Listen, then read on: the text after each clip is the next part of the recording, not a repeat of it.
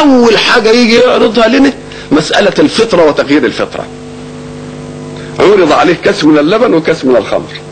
فاختار رسول الله كاس اللبن قال له جبريل هديت إلى الفطرة. إيه يعني هديت إلى الفطرة؟ كأن الفطرة بطبيعتها نقية. لأن اللبن اللي بنشربه من أمهاتنا أو اللبن اللي بنشربه مثلا من البهائم لا صنعة للإنسان فيه ابدا. بناخده كده كما أنزل ما صنعه فيه. هذه الفطرة. لكن الخمر بناخد رزق من رزق الله حسن كرم عنب. وبعد ذلك نأتي فنتلفه نخمره. ونخليه ينتن ونخليه يفوق. الله اذا أخرجناه عن فطرته. اذا أخرجناه عن الفطرة بتاعته. ولذلك حينما يعرض القرآن ذلك كان العرب يشربون الخمر ويعملوها سكر فأقول ومن ثمرات النخيل والأعناب تتخذون منه سكرا؟ صحيح هو يأخذ منه سكر.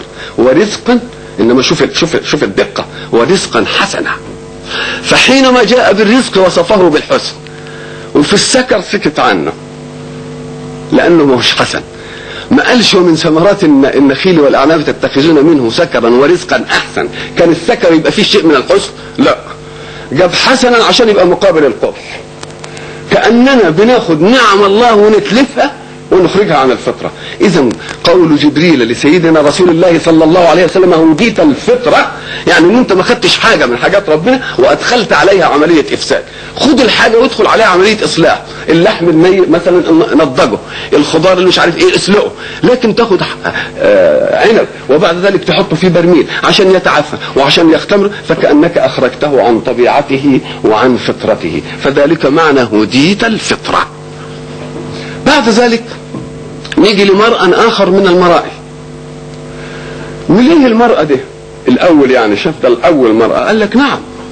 لأن العقل هو منفذ التكليف من الله. والخمر جاءت لتستر العقل. حلو قوي يا رب. الخمر جاءت. يعني ده لماذا كان إيه؟ هذا المنظر أول منظر. حاجة بيقابلها ليه؟ لأن مدخلي إلى الله هو العقل التكليفي. المجنون لا يكلفه الله. لأن آلة الاختيار بين البديلات عطلانة. ومعنى عقل يعني يختار بين بديلات. إذا كان أمر لا بديل له فلا عمل للعقل فيه. ما فيش إلا الطريق ده يوصل إلى المكان الفلاني. اذا لا اختيار لي ما أقولش أروح من هنا ما فيش إلا مضطر إليه. اذا فالعقل إنما يوجد للاختيار بين البديلات. وما دام الاختيار بين البديلات لازم يكون عقل موجود وسليم. ومقاييسه صادقة عشان تختار البديل الخير ما تختارش البديل الشر. يجي الإنسان إلى مناط التكليف له من الله وبعد ذلك يشرب الخمر ليستره. فكأنه عمد إلى النعمة الكبرى منفذه إلى الإيمان بالله ومنفذه للتكليف عن الله ليعطله. وكل الأشياء اللي بعدها فرع وجود العقل التكليفي. إذا فكأن إيه؟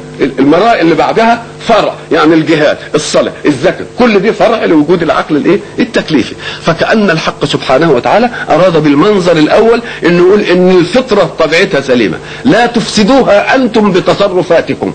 هذا اللبن تبع الفطرة. والخمرة أنتوا أفسدتوها بصنعتكم فيها تدخلتم فيها ببشريتكم. فافسدتوها بعد ما كانت نعمة كويسة جعلتوها نعمة مفسدة. ووجهتوها إلى إيه؟ وجهتوها إلى منفذ التكليف من الله وهو الإيه؟ وهو العقل. يجي بقى الحق سبحانه وتعالى يقول لك لا ده أنا خلق لك العقل ده علشان تختار فيه بين البديلات. فإذا جيت أنت وسترته بالخمر تبقى رددت على الله نعمته الكبرى عليه الذي امتزت بها عن الحيوان. الله.